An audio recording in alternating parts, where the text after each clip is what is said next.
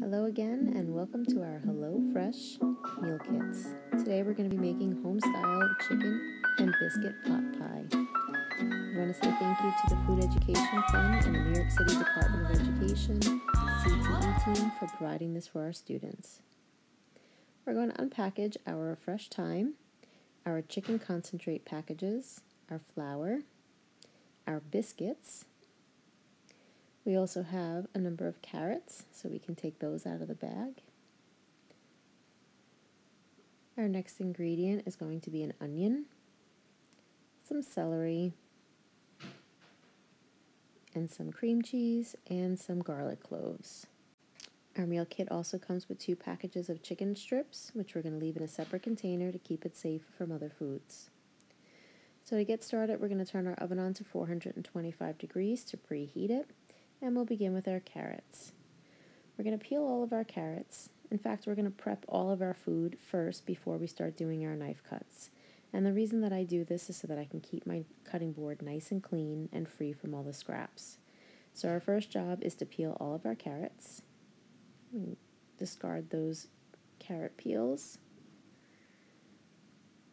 Next, we're going to take our onion. We have a top end, which is the bloom, and the bottom, which is the root. We're going to cut off the bloom and cut through the root, and then we're going to peel the outer layer. Do that again with the second half, and we'll set that aside, and we'll make sure that now we clean all of those pieces of the onion skin from our cutting board. Now we've washed our thyme and our celery. We're going to crush our garlic and remove the skin. Once we have that done and we've cleaned our board, now we can go ahead and start mincing our garlic. So mincing is a technique in which we cut it into super fine pieces. So we're going to mince the garlic, set that aside, and now we're going to work on our carrots. So trimming the top and trimming the bottoms, we're going to get our carrots set up. We'll cut them in half, and then we'll cut them into quarters. From there, those quarters we'll cut again in half or into thirds if it's a larger piece. Go ahead and cross cut and do a nice small dice for our project. So now I'm going to go ahead and I'm going to prep all of my carrots in advance, get them all into the stick shapes that I need. Again, those larger pieces can be cut into thirds, the skinnier pieces can be cut just in half. Once I have my cutting board set up, and then I can go ahead and work in a nice organized fashion, keeping my prep area nice and organized. So there I'm going to do my cross cuts and get my small dice on my carrots. I'm going to move them off my cutting board and onto a plate so I can again just keep on working in a nice, clean, and organized manner. Okay, when we're working and doing lots of chopping, especially on a firmer object like a carrot, we want to make sure that we keep our fingers tucked in and we work at a pace that we are comfortable with so that we are working nice and safely with our product. All right, so the next thing that we're going to do, I'm just going to move the garlic out of the way because I didn't realize how many carrots we'd have for this recipe. Now we're going to move on to our onion. We're going to do horizontal, vertical, and cross cuts. So here are horizontal cuts. Now we're going to cut our vertical strips and then we're going to cross cut into our small dice. When we get down towards the end, we want to make sure that if we have any larger pieces that we cut them into the small dice as well, removing the root end and keeping just the main part of the onion. We'll do that again, horizontal, vertical, cross cuts. Again, keeping your fingers tucked so that you work nice and safely as you're working with a nice sharp knife. Our last item is our celery. Again, always wiping down our cutting board, keeping everything nice and clean.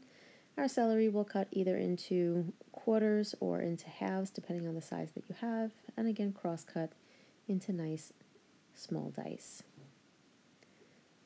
So we'll bring that all onto our mise en place plate here. And now we have our mirepoix, carrots, onions, and celery. We'll put the garlic to the side as well and set that prep to the side while now we work on our thyme. So our fresh thyme leaves, we want to rinse them, dry them. Take your first um, piece of thyme and just pull against the stem. And what you'll see is that when you pull carefully against the stem, you'll pull off all the seeds and then you'll discard the stem. So we'll continue to do that for our bunch of thyme. So for the recipe of four, we're going to use the entire package. For a recipe of two, you can use half of the package.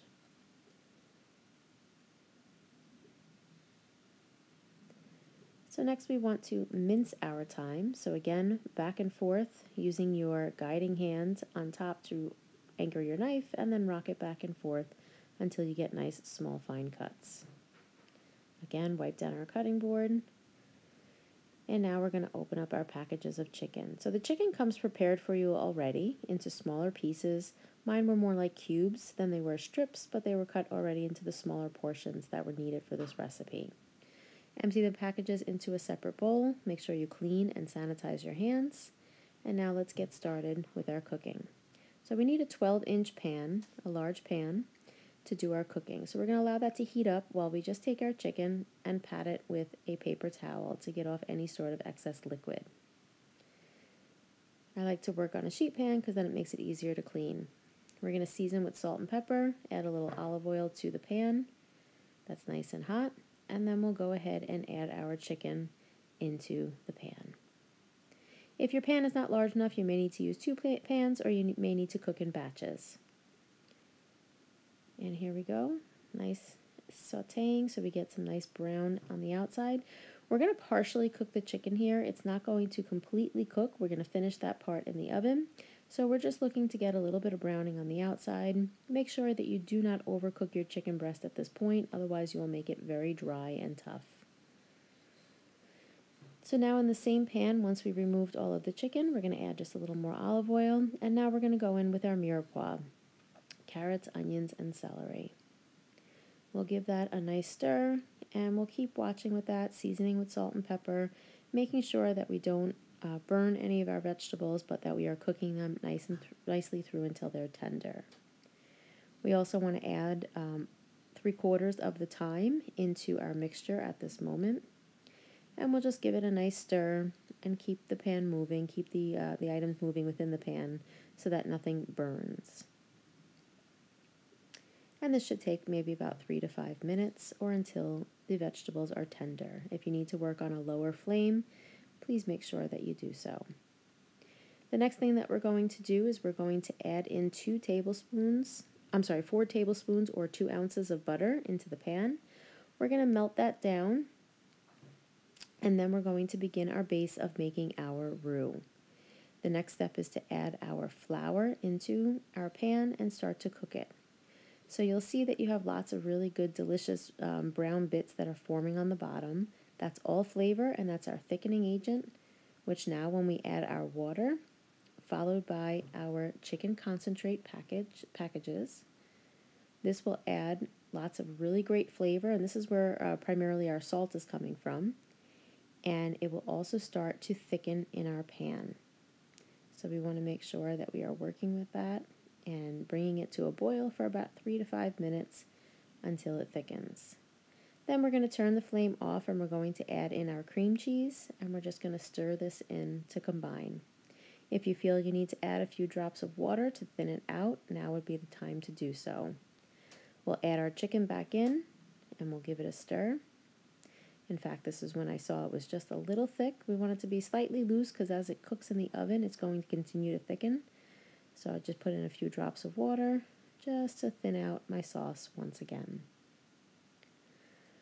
So now we're going to prepare our biscuits. So you're going to peel open the can, and if it doesn't pop, just tap it gently on the side of your cutting board. A nice little tap, it pops open, and you're going to take your biscuits out. So I'm going to prepare this in two different ways. So I just took the biscuits and kind of gently stretched them nice and thin. Not too thin, but I stretched them out, uh, maybe to about a third of the size. And what I'm going to do is I'm going to hold off two biscuits so I can show you how to make this recipe if you don't have an oven. So let's just talk about what's going in the oven. We're going to take some melted butter and brush the tops of our biscuits.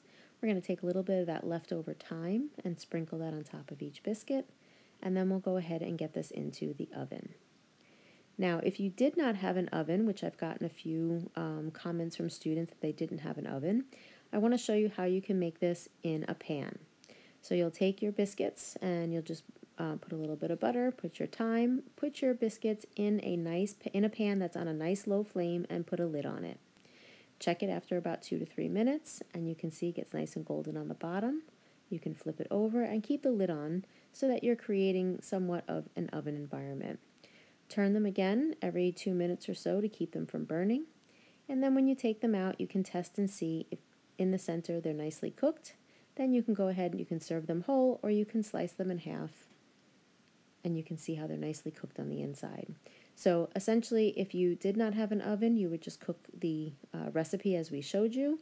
You would then need another pan to cook your biscuits, and then you can go ahead and put them on top of your chicken pot pie. All right, back to um, those that do have the oven. We're going to take this out. You're going to see that your biscuits are going to be nice and golden. And here we are with our chicken pot pie. One scoop with a biscuit is our serving. Super delicious, super fresh, very filling.